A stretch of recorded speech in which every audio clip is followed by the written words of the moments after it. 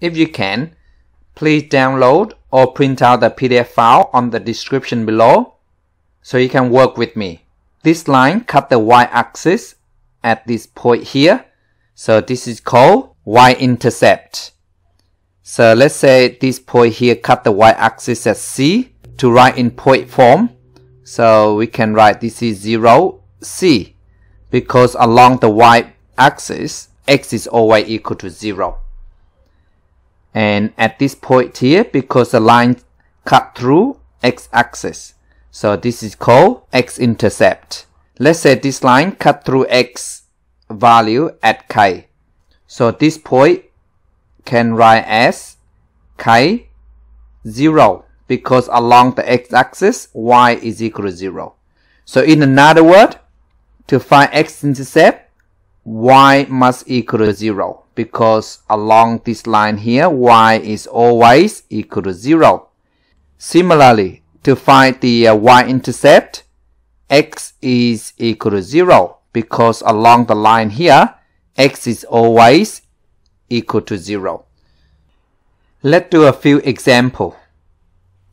First one, to sketch this graph, so we can find x-intercept first.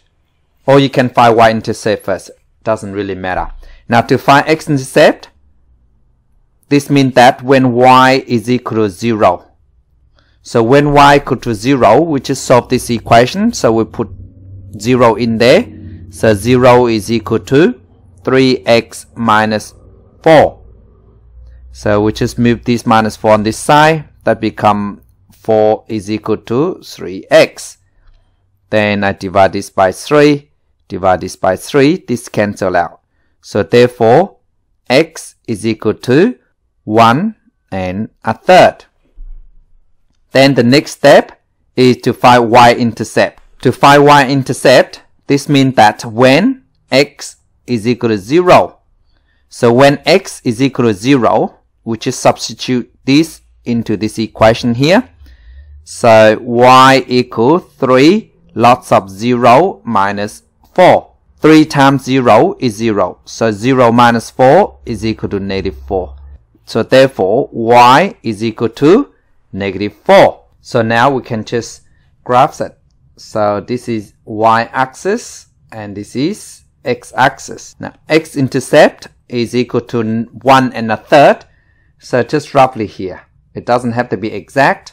So I just write 1 and a third and y is equal to negative 4 so we just roughly okay? So this is negative 4 so now what we need to do is just joining the point together.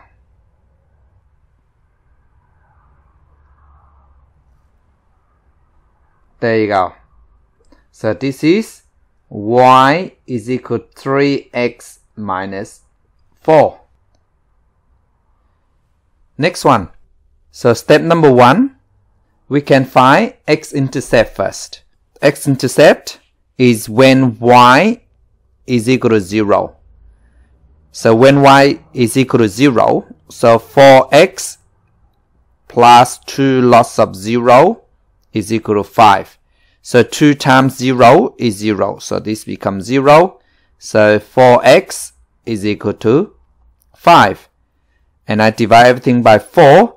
So x is equal to one and a quarter.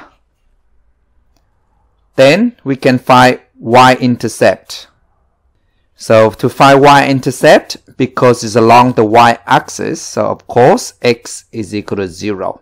So when x is equal to 0, so 4 times 0, I just substitute into the equations.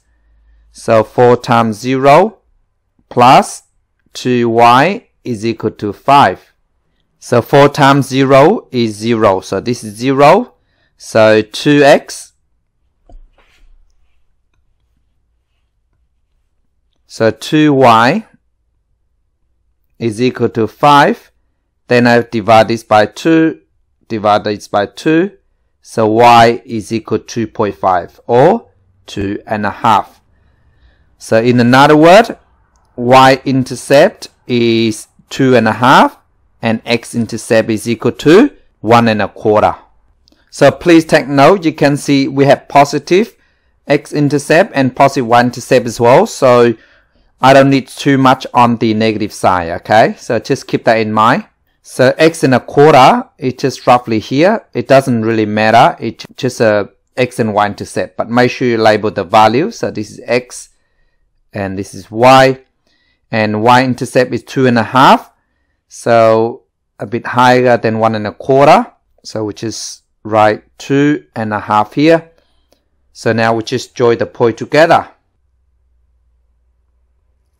There you go. This is 4x plus 2y is equal to 5.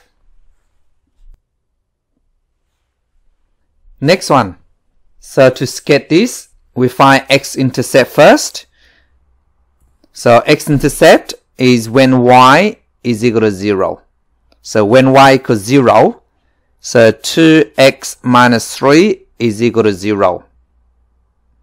And I move the 3 on the side. 2x is equal to 3. Divide everything by 2. So x is 1.5 or 1 and a half. So this is x-intercept. Then we need to find y-intercept. To find y-intercept, that is when x is equal to 0. So this means that 2 lots of x, it means 0, plus 3, y plus minus 3 is equal to 0. So this becomes 0. So 3y minus 3 is equal to 0. To solve this, I move the negative 3 on this side, so it becomes positive. So 3y is equal to 3. I divide by 3 on both sides. So y is equal to 1. So now the y-intercept is 1. X-intercept is 1 and a half and y is equal to 1. So 1 is roughly here. So which is 1. So it's just roughly, that's all. And just connect these two points together.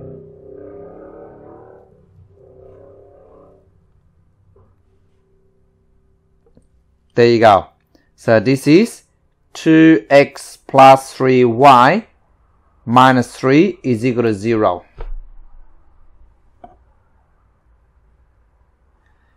Please stop the video and try this one yourself.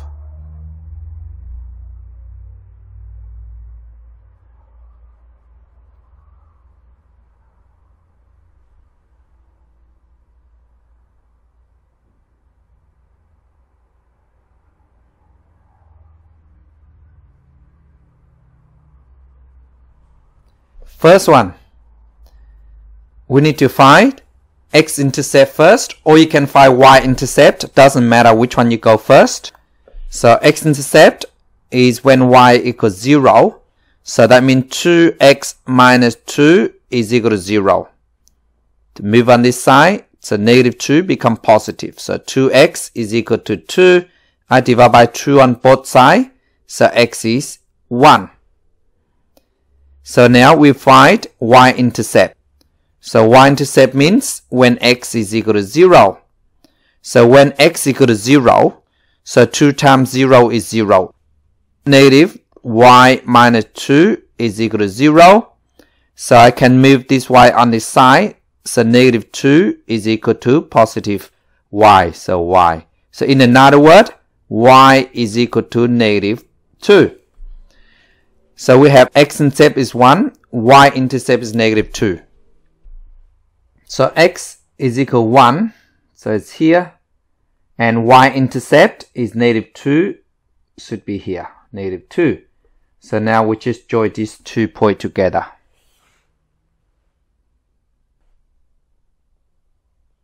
So y so 2x minus y minus 2 is equal to 0. Second one, 3x plus 2y is equal to 1. So step number 1, we need to find x-intercept first. So to find x-intercept, it means when y is equal to 0. So when y is equal to 0, so 3x plus 2 times 0 is 0. So just 3x is equal to 1. And I divide by 3. So x is equal to a third.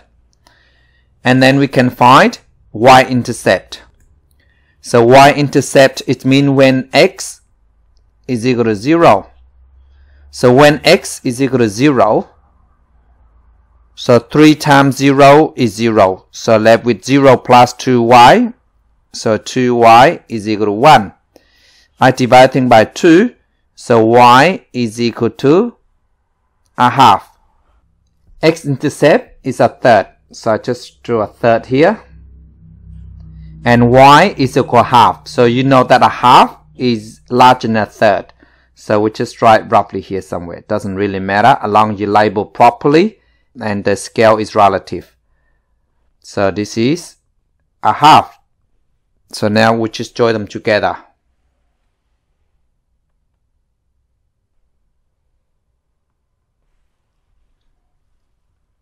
So don't forget to put an arrow on it. So this is 2x plus 2y is equal to 1. Last one. So we can find y-intercept first or x-intercept, doesn't matter. So I just find x-intercept first. So x-intercept is when y is equal to 0. So this means that 0 is equal to 3x minus 5. I move the negative 5 on that side. So 5 is equal to 3x. I divide everything by 3. So x must be equal to 1 and 2 third. Then to find y-intercept, that is when x is equal to 0.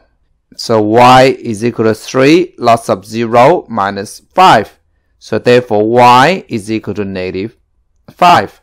Just take note on this because x-intercept is positive and y-intercept is negative. So therefore, we need the negative y value a bit more. So in another word, we make this graph up here a little bit. So 1 and 2 third is roughly here. So 1 and 2 third. So y-intercept is negative 5. So here somewhere, so just put negative 5 here and we just connect these two points together. So this is it. y is equal to 3x minus 5. Thank you so much for watching.